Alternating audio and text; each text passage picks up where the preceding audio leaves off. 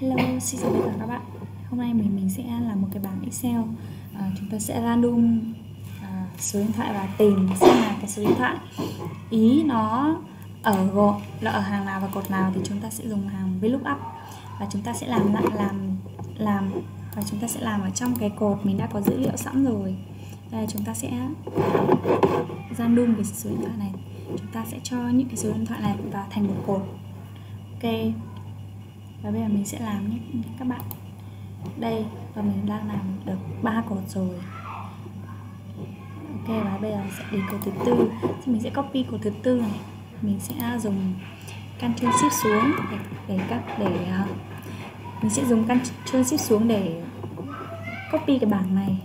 Để copy được hết những cái dữ liệu nằm trong cái cái cái, cái cột này mình sẽ paste paste ra đây. Ok và đây là hàng hàng và đây là cái từ 4 đó, và đây từ 1 đến 1000 và cứ cứ cứ như thế và mình sẽ làm đến cột 20 có vẻ như hơi lâu nhưng mà đây là cái cách mà mình, đây là cái cách, là cái cách mà mình biết. Ok. Đó. Rồi đến cột thứ 5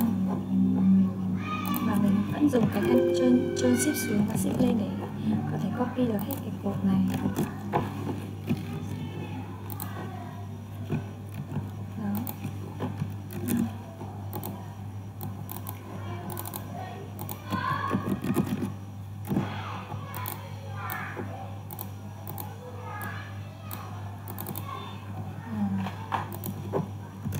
Ừ. Thế và đến cho cho đến hàng 20 từ 20 có vẻ như hơi lâu nhưng mà đây là cái cách mà mình mình có thể làm được.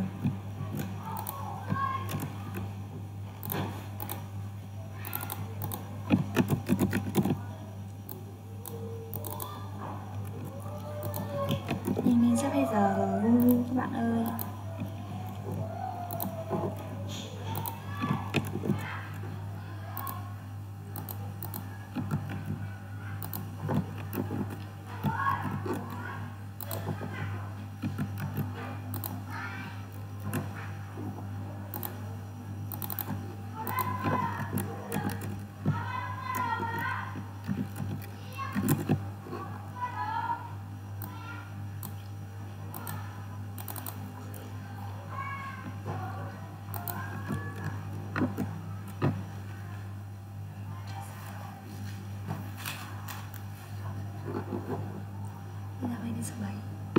Mấy phút nữa Cái phần. Ăn đi làm nữa.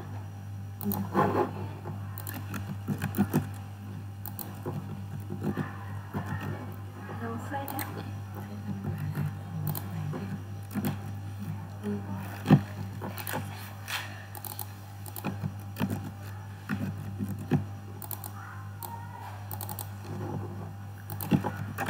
rất là lâu đến buổi tới thì chúng ta sẽ được học cái cách random nhanh hơn cái cách này.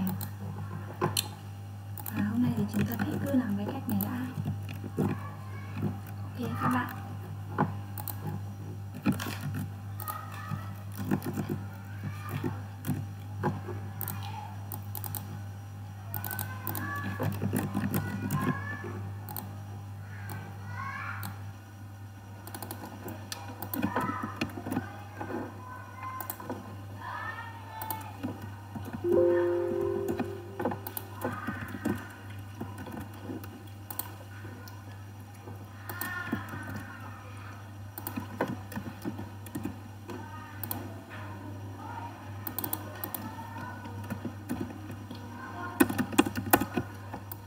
Và chúng ta sẽ hãy cứ làm đến đến đến à, 20 đến cột thứ 20 và đây chúng ta sẽ lấy ví dụ minh họa từ cột 1 đến cột 10 và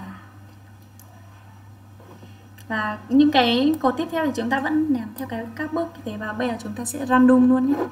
Ví dụ, thì tôi sẽ tìm cái số điện thoại bất kỳ trong những số này. Ví dụ tôi sẽ lấy ở trong cột này á. Sheet 2 này, sẽ lấy ở đây đây 5 số điện thoại nhé. Hai này.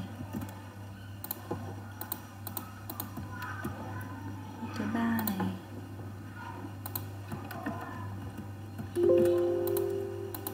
Thứ ba này.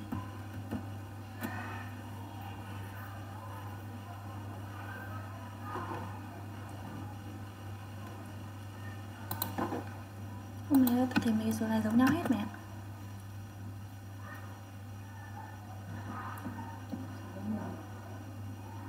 ạ mua như đó À, à số hàng Đúng rồi, hàng đúng rồi, quên Ok, chúng ta sẽ làm như này Ok, và bốn số nhá. Và đến cột và hàng thì chúng ta sẽ chọn bằng. VLOOKUP VLOOKUP này. À, Lookup. Lookup. Đây chính là cái um, cái số điện thoại mà chúng ta cần tìm. Và tiếp theo là, đó chính là cái ba cái đoạn chúng ta, ram đun, số điện thoại cột vào hàng. Và đây là những cái dữ liệu mà chúng ta cần.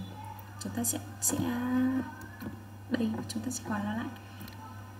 Và và chúng ta sẽ, đây là hàng hàng cột. Đây là cột và chúng, đây là cột cột thứ hai. Và chúng ta sẽ ghi là số số 2 enter. Đó. Và chúng ta sẽ kéo xuống.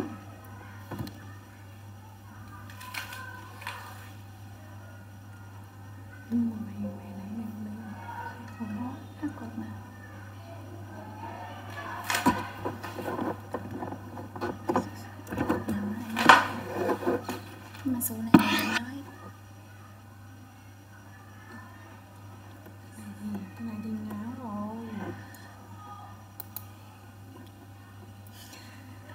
ui không phải thế nhỉ? Thế này đấy.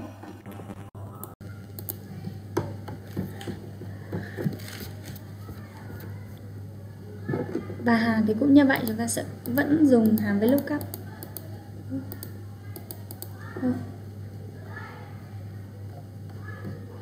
Với lookup bằng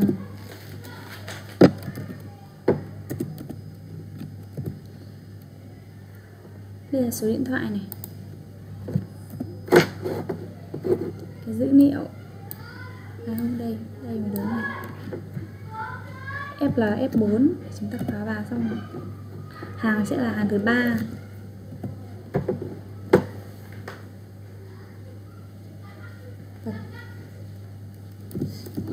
Enter. Đó. Ok, thì vậy là bài học của chúng ta đến đây là kết thúc. Cảm ơn tất cả các bạn đã lắng nghe. Xin chào và hẹn gặp lại.